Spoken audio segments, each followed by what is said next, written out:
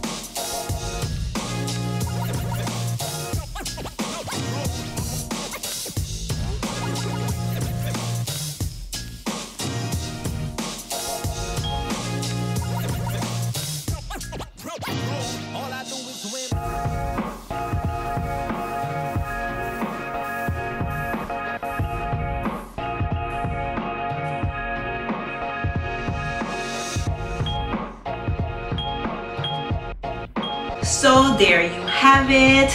My hair styled with the Fructis line, which I really love. I used to use this a lot when it first came out. I haven't used it in years.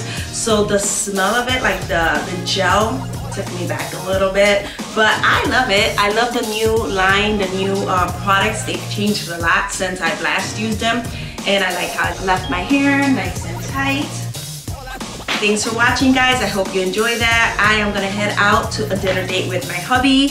So I will see you guys soon. But before I leave, don't forget to subscribe and click on that notification bell so you know when my videos are popping. And don't forget to drop a like. I'll see you guys soon. And in the meanwhile, don't forget to be blessed. Mwah!